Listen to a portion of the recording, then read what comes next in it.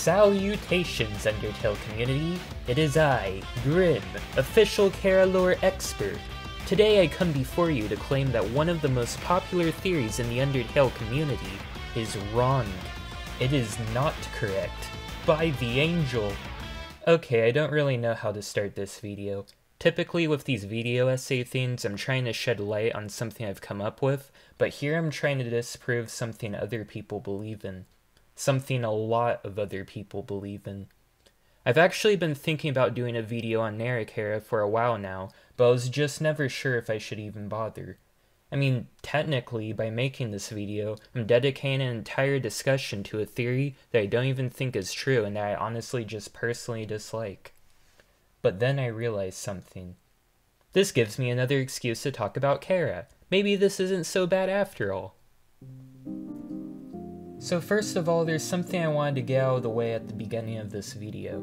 I've actually already made my own video about Chara before, and while I still think it's a decent video, I definitely think I've gotten better at this whole thing since then. So while this video will mainly be focusing on debunking Narrachara, you can also think of this as a de facto remake of that video. I don't really disagree with any of the points I make in that video, I just think it's rushed and there are some pretty important things I forgot to go over. So I was thinking about how to approach doing this whole debunking thing, and I believe I've come up with a plan for this video. A three-step plan, in fact. Step 1. Explain everything we know about Chara. Now, some of you may just want me to get straight to the main point of this video, but you have to realize that Undertale has been out for over 8 years now. I figured I could do this to make sure everyone is up to speed, or at the very least refresh everyone's memory on the topic. There may be people watching this who don't even know what narrator Chara theory is, which brings us to the next step. Step 2. Explain Narrachara theory. This step is straightforward enough, so let's move on. Step 3. Complete eradication. I will burn Narrachara to the ground. I will cut deeper and deeper until nothing remains but ash and broken dreams. I will bring you to the true absolute height of Undertale theory crafting. I will actually get this video started, alright, let's go. So real quick, let's start with Chara's origin story. I'm just gonna try to get through this part as quickly as possible because there's a lot to cover. First of all, at the beginning of every playthrough of Undertale you name Chara. However, if you input the name Chara, the game labels it the true name, so that's why we use this name when discussing the character. There is also no canon pronunciation of Chara, but since it's likely short for character, this is how I choose to pronounce it. Chara was the first human to fall into the underground and was discovered by Asriel. Asriel helped the wounded Chara back home and they were adopted into the Dreemurr family. Chara and Asriel grew close, so close that they started filming funny TikToks together. There's no video for some reason, there must be something wrong with their iPad. Anyways, Asriel mentions that the two of them tried to make butterscotch pie for Asgore, but when reading a recipe, they mistook cups of butter for buttercups as in the flour that's basically just poison. Asgore got terribly sick, but Chara just laughed it off, showing that they may be a little unhinged. According to Asriel, Chara also hated humanity, which is likely connected to the reason that they chose to climb a mountain that said make people disappear and then uh, Asgore gave Chara some epic speeches, or that might have only been when Chara was on their deathbed, actually. But either way, Chara came up with a plan to free monster kind. First they had Asriel fetch them some good old poisonous flowers, and they just ate them. This made it appear to the rest of the underground that Chara suddenly grew fatally ill, but really the plan was that when Chara died, Asriel would absorb their soul and use it across the barrier. Now something I always like to point out this part of the story is that if Chara wanted, rather than sacrificing himself, they could have murdered Asriel and taken his soul instead to enact their plan, but even if they were a little unhinged, they didn't do that. I think, like pretty much every other character in Undertale, Chara is morally gray. They did some questionable things during their time with the Dreemurr family, but in their own way they still seem to genuinely care about Asriel, even if this plan was never actually something that Asriel wanted from Chara. Now, something else interesting to mention about Chara was their love for plant life. While Chara was bedridden, they asked to see the flowers from their village on the surface, but sadly there was nothing the monsters could do. Even though Chara literally brought this upon themselves, I can't help but feel bad for them. At the end of the day, they're still just a suffering child. Anyways, there's a lot of interesting connections between Chara and flowers. In the Genocide run, you can see this drawing of a flower was drawn by Chara. In this present, you also get a worn dagger, perfect for kind plants and vines. And there's also... yeah. I find all this interesting because it reminds me of Asgore. There's going to be a lot I have to say in this video about Chara's relationship with Asgore. Now, when Chara died, to the two siblings' surprise, control over the body was now split. Chara picked up their own empty body. That's kinda haunting to think about. Imagine holding your own dead body. Anyways, Chara brought their own body to the surface so it could rest with the flowers they loved. Then the humans saw Asriel holding a body, assumed Asriel killed the child, and attacked. Chara wanted Asriel to go through with the plan and use their full power to wipe out the humans so they could then take the souls and use them to free monster kind, but Asriel couldn't go through with it and he ran back home with Chara's body and died in the garden. Then Asgore got really mad and decided to redeclare war on humanity, which he would come to regret doing for the rest of his life. And then Toriel got really mad, and she just went to the basement and took Chara's body all the way back to the ruins for a proper burial. she really... She really left and took the kids, huh? I'm so sorry, that might actually be the worst joke I've ever made. So Toriel carried Chara... Uh, so Toriel buried Chara under the flowers, which is fitting, because they love flowers, and also flowers killed them, and also their brother is a flower, that's pretty cool, I guess.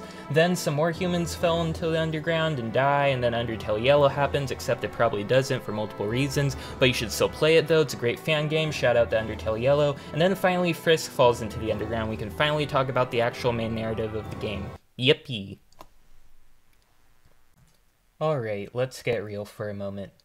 I am obviously aware that a lot of people watching this believe in the Narrachara theory. I mean, you are the target audience. The whole point of this video is me trying to convince you that Narrachara theory is wrong. However, for this part of the video, I ask that you please temporarily forget that Narrachara theory even exists. We are going to go through the events of the game and focus on what these events tell us about Chara. Do not worry, I promise I will get to Narrachara theory, I just want to make sure we go over everything else related to the character first. So, at the very beginning of Undertale, Frisk lands on Chara's grave. And this is important because Chara seems to be brought back to life in some way through the body of Frisk. Now in my original video about Chara, I presented my own mini-theory on how this may have happened. Chara's coffin has a red soul on it, meaning they must have had the same soul type as Frisk. My theory was Frisk having the same soul type must have somehow triggered Chara's determination and brought them back. However, now I think that's actually wrong because it's something Chara says in the genocide ending. At first, I was so confused. Her plan had failed, hadn't it? Why was I brought back to life? You. With your guidance, I realized the purpose of my reincarnation power. Together, we eradicated the enemy and became strong. Holy cow, I did not go over his dialogue nearly as much as I should have in my first Chara video. So first things first, we need to establish what exactly is happening in this scene. The Absolute has been reached and the world now lies on the edge of erasure, and now Chara, who shouldn't even have their own body, is talking to someone. The question is who Chara is actually talking to. Immediately, there are two interpretations that people will think of. Either Chara's talking to Frisk, or Chara's talking directly to the player. However, while I myself am hesitant to ever say the answer to any mystery in the Undertale universe is the player, I don't think this scene makes any sense whatsoever if Chara is talking to Frisk. Throughout the entire genocide route, Chara seems to have complete control over Frisk. When Frisk looks in the mirror, the narration changes to, It's me, Chara. Flowey says, You and your stolen soul. When Flowey is then talking to Chara in New Home, Flowey tells Chara to stop making a creepy face, which is exactly how Asriel describes it in the first recording the two siblings made together. This is all Chara. There is no Frisk involved here, so how would the lines, with your guidance, and together we eradicated the enemy and became strong, make any sense if it's being said to Frisk? The only logical explanation I can come up with to explain this dialogue is that Chara is talking directly to the player. We as the player made the choice to go out of our way to find and kill every single monster we could, and that is what led us to this point. That is what Chara is referring to as guidance. Together, we as the player, and Chara as the in-universe character, eradicated the enemy and became strong. Chara was not forced to do anything. They certainly weren't forced to do anything by Frisk, or even the player for that matter. This is something they, as a character, were willing to do alongside us. We only provide some much needed guidance in the right direction. Now, how does this explain how Chara came back to life? Well, it's right there. Why was I brought back to life? You. We brought them back. Chara's dialogue even seems to double down on this if you do a second genocide run. Chara will now describe themselves as the demon that comes when people call its name. We as the player call Chara's name at the beginning of every playthrough of Undertale. It doesn't matter where, it doesn't matter when. Time after time, they will appear. So, um, yeah, that's just most of the genocide route explained, so now what's Chara's deal on the other routes of the game? Well, now that we're done literally going over the very first room in the game, let's talk about the second room. Here we have Flowey, who we know as Asriel. When we meet Flowey, some music plays. This is Flowey's theme, titled Your Best Friend. Do you know who Asriel's best friend is? It's Chara. Wonder what that could mean. Now we move on to the third room and there's a save point. Frisk approaches it, yada yada, determination, and then Chara's name appears in the save menu. Hmm. Where have I seen a character use a save point, but have a completely different name appear in the save file? Oh yeah, Deltarune. Kris seems to be under the control of another entity, whether it be the player or an in-universe character, or both I guess. And that entity who has control over Kris's body seems to also have control over the save system. So if Chara has control over the save system in Undertale, then that would logically mean they also have control over Frisk themselves. This is further supported by this is literally just what is happening in Genocide Route, there's no debate there. But what's really crazy about this is that this means this must also be happening in the pacifist and neutral runs. It's just much more subtle here. I'll now go over everything else that hints at Chara's presence outside of the genocide route. So first of all, Chara's name is in the menu. Why even put Chara's name in menu if we are playing as Frisk? Then when you die in Undertale, you see Chara's memories of Asgore saying that they need to stay determined for the future of humans and monsters. Then after fighting Toriel, if you go back to bed, you have a dream about Asgore, who Frisk hasn't even met at this point. Next in Waterfall, when Undyne slices his bridge in half, we have yet another dream about when Asriel and Chara first met. Why would Frisk have this memory? Then in the somewhat secret ending where Asgore, instead of being killed by Flowey, pulls the Kara himself, before he dies he says you remind him of Chara. Real subtle. There are even multiple lines within the narration that, oh, Wait a moment, I was uh, getting a little ahead of myself there. We'll have to come back to that later. Finally, the real bombshell. The thing that I'm most upset myself for neglecting to talk about in my original Chara video. So what Flowey says after you finish the pacifist route. So here we encounter a similar problem that we had when looking at the genocide ending. We need to figure out what exactly is even happening here, and that means understanding who exactly Flowey is talking to.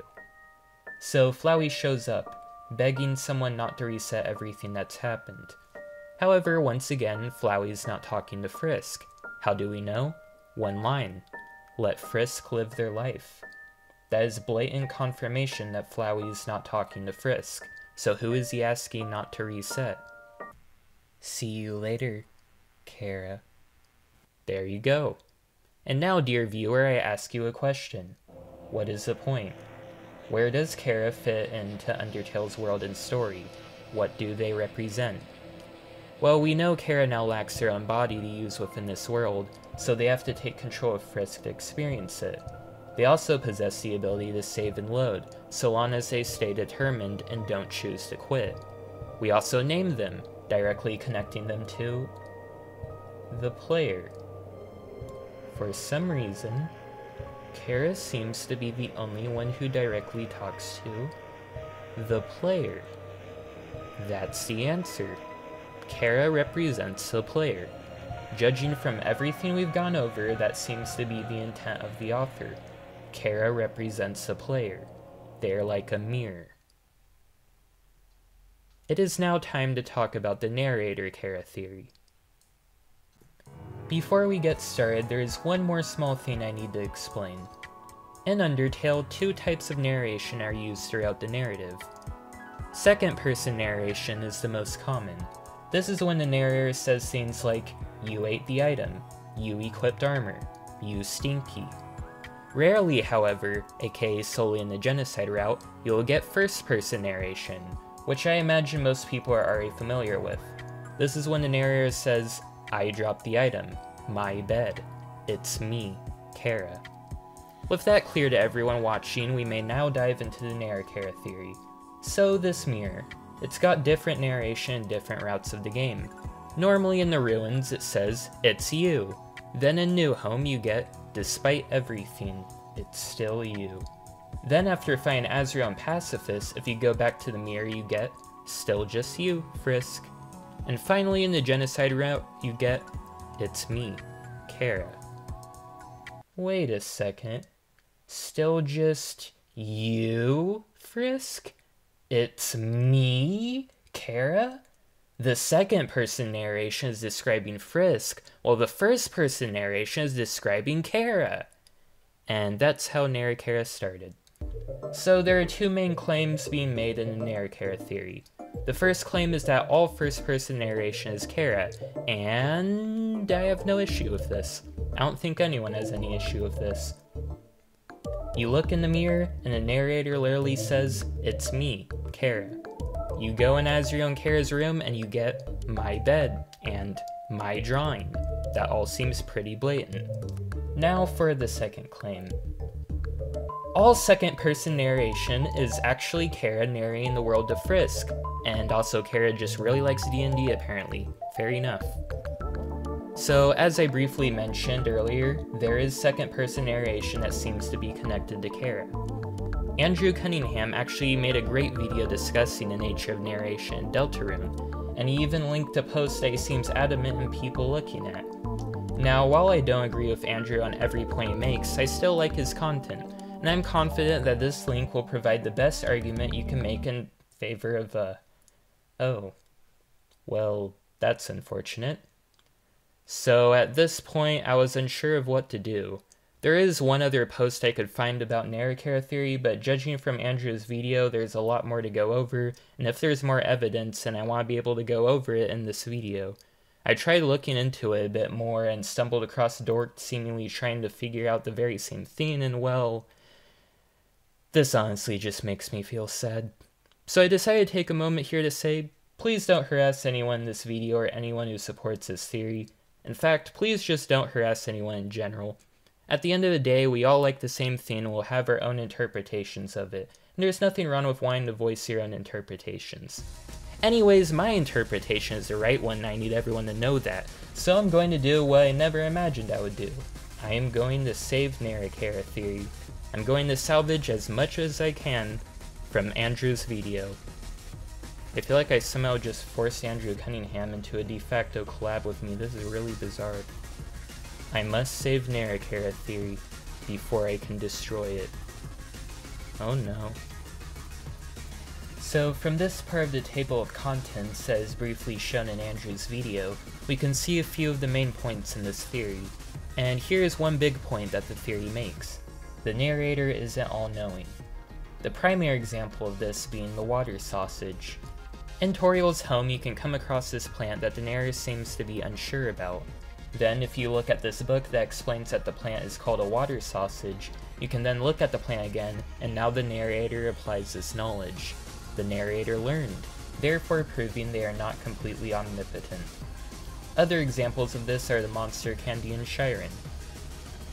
When you inspect the monster candy, the narrator describes it as having a non-licorice flavor.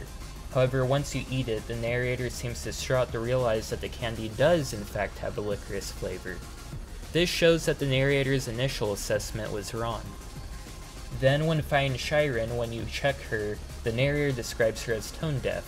However, if you check her again after humming with her, the narrator corrects itself by saying she's a talented singer when she has a little help. Another piece of evidence is that the narrator is capable of changing depending on your actions. There's a bag of dog food in Alphys' lab, and if you inspect it in a pacifist run, it is described as half full. When you inspect it in a neutral run, however, it is described as half empty, showing that the narrator has gone from being optimistic to pessimistic. Leave it to Undertale fans to somehow turn a bag of dog food into a concrete piece of evidence. Then when fighting Woshua, you can make jokes that seem to reference Chara. Two kids playing in a muddy flower garden refers to Chara and Asriel. A kid sleeping in the soil references how Chara's body is currently buried in soil.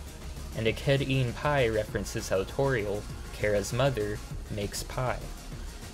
Then when anything related to the Dreemurrs comes up, the narrator gets noticeably silent. Finally, when you look at this bed in the genocide route, Chara describes as my bed. When you look at it in any other route, however, the narrator describes it as a comfortable bed, and says if you lay here, you may never get back up. Chara likely died in this bed. And I think that's all the major points. All the major points that I could find anyways, so without further ado...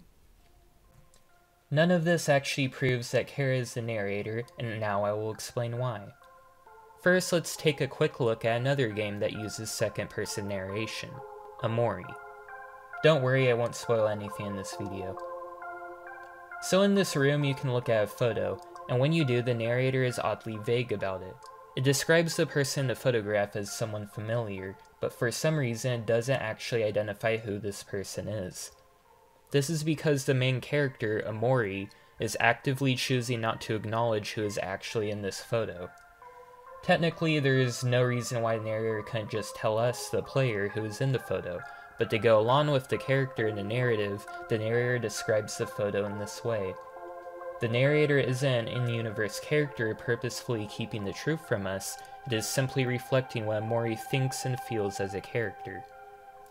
Now with this in mind, let's look back at all the points the Narrachara theory makes. First of all, the narrator not being all-knowing. This can easily be explained as the narrator reflecting that our protagonist is not all-knowing. If the protagonist doesn't know something, then the narrator can reflect that through its own narration. Same explanation for the dog food bag. If our character has become pessimistic, it just makes sense to change the narration to reflect that. Then with Woshua, there is so many ways you can interpret this. First of all, this could literally just be foreshadowing.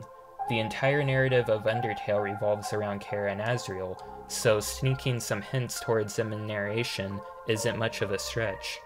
In fact, the game also does something similar in Toriel's house.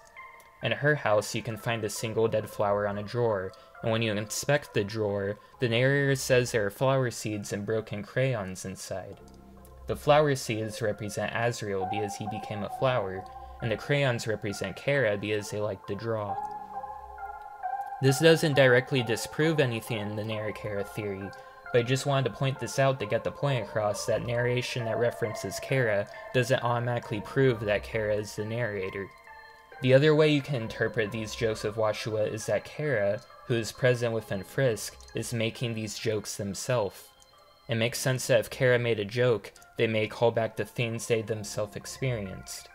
This is important because under this interpretation, the narrator is describing something Chara did in second person, which destroys the whole foundation of this theory, since according to Narrachara theory, the narrator only describes Frisk's actions in second person. Next is the narrator going silent. Once again, this can just be the narration being used to convey what the protagonist is currently feeling it does not prove that Chara is the narrator. Finally, there is Chara's deathbed. This narration is clearly a callback to how Chara died, but once again this doesn't actually prove anything in favor of Narrachara. If we are playing as Chara, who is now making their way through the underground using Frisk as their vessel, then of course the narration is going to reference Kara, because Kara is the true protagonist of Undertale. From the ashes of one theory, I present to you my own which I will now dub True Protagonist Theory. This theory, well, it's literally everything I presented at the beginning of the video. I believe in all routes, Chara has control over both the save system as well as Frisk. I actually believe this works somewhat similarly to how Kris is being controlled in Deltarune. We can make Kris do pretty much anything we want, but they still have enough freedom to do things like let people know their name is Kris, just like how Frisk tells Asriel their name at the end of the Pacifist route. So yeah, that's my Chara theory. What do I do now? Oh yeah, I'm not actually done debunking Narrachara theory. That was just me going over why the supporting evidence is weak. I still need to go over the counter evidence. So the first piece of counter evidence is something that Andrew himself actually brought up in his video about Deltarune's narration. There are multiple times when a narrator can see the thoughts and feelings of characters other than Frisk or Chara. Furthermore, there's even a time when you take a monster candy in the ruins, where a narrator straight up tells you what button to push in order to open your menu. This shows the narrator can actually be all-knowing if it's convenient to the narrative. There's also this narration of Snowdrake's mom, and I'm gonna be honest, this just feels like narration being creepy for the sake of being creepy. I really feel this way about most of Undertale's narration. To me it doesn't feel like a consistent character, it just feels like it's there to make a few jokes and help the player better interpret the world around them, and in a few cases to provide foreshadowing, but nothing really screams that this is a character itself talking until the first person narration comes up in the genocide route. Speaking of which, if you thought the points I made about the Woshua jokes were bad for this theory, wait until I show you the absolute mess is the genocide route's narration. As I said, the main foundation of this theory is essentially this mirror, and that uses second person narration to describe Frisk and first person to describe Chara. The idea here is that since Chara is supposedly the narrator, once Chara takes control over Frisk in a genocide route, they now narrate in first person because they have control over Frisk's body. With this logic, all second person narration should now change to first person like with the mirror, since all narration is Chara. Most of the narration in the genocide route, however, is still second person. Now, maybe Toby was just too lazy to change most of the narration. Although let's be honest, if Toby really wanted Chara to be the narrator, I'm absolutely certain he would have changed most of the narration to convey this idea. Let's just say he was lazy for the sake of argument, though. Why are there multiple instances of genocide specific narration that still uses second person? Just earlier, Chara said, I unlocked the chain, so now why would they say, you feel like you're going to have a bad time? It's inconsistent and the theory does not address this problem whatsoever. Chara does not represent a narrator, Chara represents the player.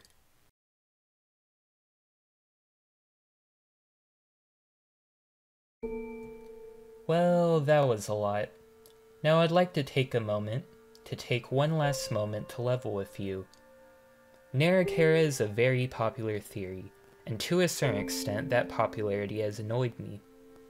Not in the sense that I'm mad that my own theories aren't as popular, but because sometimes I feel like I see this theory pop up wherever I go, and it annoys me because personally, I just think it's wrong. However, while it's true that its popularity is part of the reason it annoys me, I think there's another, more personal reason why it bothers me. I first played Undertale when I was in middle school, and back then, I myself believed in Narrachara. Why does this debunk actually come with an entire villain origin story attached? Anyways, the reason I wanted to go on this mini tangent is that I wanted to say, I know what it's like to follow or even come up with a theory that you believe is so strong that you don't even want to give genuine thought to what other people have to say. I myself was like that for quite a while with Narrachara. In fact, back then, I remember looking at the second person narration in Genocide Route and just thinking, eh, whatever, the mirror basically proves it. Now, however, I look back on that version of me and wonder, what the hell was I thinking? Now, you're still allowed to come to your own conclusions, and I'm not trying to say everyone who disagrees with me is wrong and too immature to admit it, but I just wanted to say that I think for me, realizing Narrachara wasn't nearly as strong of a theory as I thought it was taught me another way to look at art as a whole. Rather than just looking at the cold hard evidence, Something equally important when analyzing a narrative or a character is to look at what the artist is trying to get across. Look at all the aspects of the character and genuinely ask yourself, what are they trying to do with this character? What are they trying to say? What is it that Toby Fox wants us to see when we look at Chara? What is the point? I think when we look at Chara, we are meant to see ourselves, because despite everything, it's still you.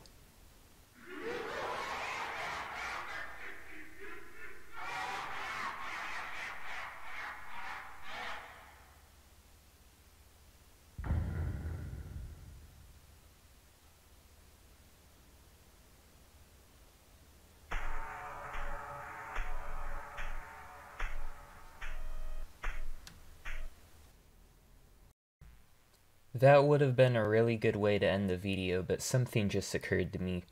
I basically just criticized the Narrachara theory for not addressing the counter-evidence, and even said that I look back on myself with contempt for not thinking about the counter-evidence. But I haven't really thought much about the counter-evidence for my own theory that I just presented in this video, so I figured if I want to make sure I've changed, I should go over it. Those who ignore history are doomed to repeat it and all that, so, the main foundation of true protagonist theory is that Chara represents the player, and that Chara actually has some level of control over Frisk in all routes of the game. There are three main pieces of counter-evidence I can think of for this theory that I'd like to go over. First of all is when Frisk tells Asriel their name at the end of the pacifist route. Now, I already presented the idea that this could be similar to how Kris has some level of freedom when we make choices in Deltarune. However, the problem with this argument is that as of now. For anyone in the future, we only had two chapters of Deltarune when this video was made, by the way. Kris hasn't actually had to introduce himself to anyone. Deltarune is mostly made up of characters who already know Kris personally, which is the main reason they know Kris's name. For all we know, we could actually force Kris to tell someone their name is Sans.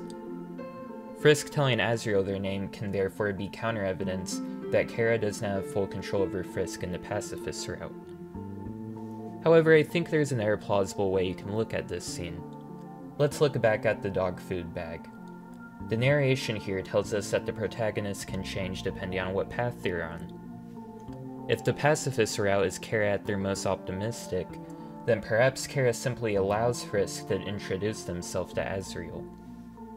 There are actually multiple things that support this interpretation. First of all is what Flowey says when asking Chara not to reset. He says, let Frisk live their life. At the end of the pacifist route, I think this is exactly what Chara is doing. They are choosing to let them live their life. If Chara chooses to reset, however, Frisk once again lands on Chara's grave, and once again Chara takes control over them. With a little bit of player shenanigans, of course. The other things that suggest Chara actually gives Frisk more freedom in the pacifist route is, well, the entirety of the genocide route. In the genocide route, Chara's presence feels like a complete hostile takeover. This is Chara at their most sadistic, so it makes sense they would have little care for Frisk here. Genocide Chara sees Frisk as nothing more than a means to an end. Now for the second piece of counter-evidence. A large part of my argument is that Chara represents the player, however there is something Chara says that completely contradicts this. If you do a second genocide run, Chara says this. HP, attack, defense, gold, EXP, love. Every time a number increases, that feeling, that's me. Chara. But you and I are not the same, are we? This soul resonates with a strange feeling. There is a reason you continue to recreate this world. There is a reason you continue to destroy it. You, you are racked with a perverted sentimentality. Now, something important to remember about the point I'm trying to make is that I'm not saying that Chara is literally the player. Just like how it doesn't make sense for Chara to describe themselves in second person in the genocide route, it also wouldn't make sense for Chara to be talking directly to us if they literally are us. My argument is just that Chara represents the player. Think about Kris, for example. You could easily say that Kris represents a video game protagonist, because the main part of the narrative is that someone is taking control over them. Would you say that's the only aspect to their character, though? No, of course not. Kris has their own drives and motives outside of just representing a protagonist. I think the same applies to Chara. They act as a mirror to us, but they're still a different person with their own drives and motives. Now, something else related to this that I also wanted to mention is that while I've mostly been arguing that Chara represents a player, you can actually also make an argument that Chara represents a video game protagonist, like Kris does.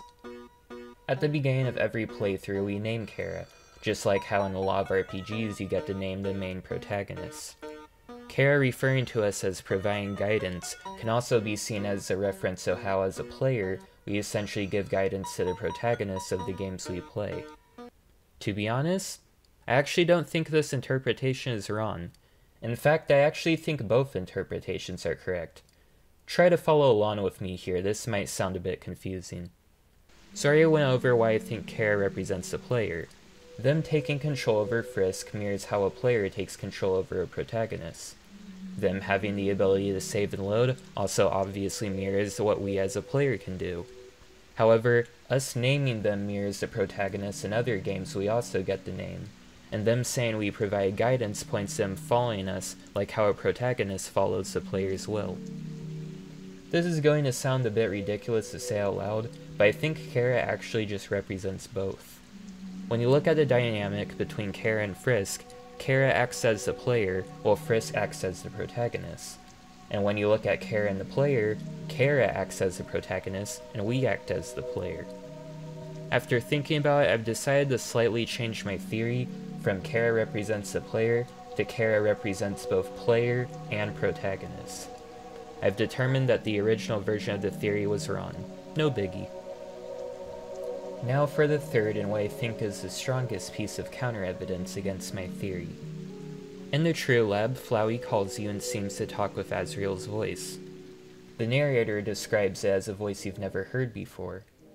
If the narrator is referring to what Chara thinks and does, then this seems really odd, since surely Chara would recognize Asriel. Well, there are a few ways I can explain this. First of all, it's possible the narration could show not only what Chara thinks and feels, but also what Frisk does. At the end of the pacifist route, the narrator specifically refers to Frisk in second person. However, throughout the genocide route, the narrator refers to Chara in second person. This shows that the second person narration could potentially be referring to either one of them throughout the pacifist and neutral routes. If the narrator just happens to be referring to Frisk here, then it's not as strange, but I admit that isn't a super strong argument. I think I thought of a better argument though, Let's say that the narrator is referring to Frisk in second person. Well, in that case, his narration would still be weird. Just earlier in the True Lab, Frisk listened to recordings made by Asriel, therefore Frisk should recognize Asriel's voice. Even though they sound very similar, the tone of Asriel's voice here and the tone here sound different. If this difference is enough that Frisk, who just heard the voice in recordings, doesn't recognize it, then I think it also makes sense that Chara wouldn't recognize it. And that's all the counter evidence I could think of for a true protagonist theory. There might be more counter evidence that I haven't thought of, but I'm sure it can't be worse than, well, all this. Yeah. You either die serving the Chara Defense Squad, or live long enough to debunk Narrachara.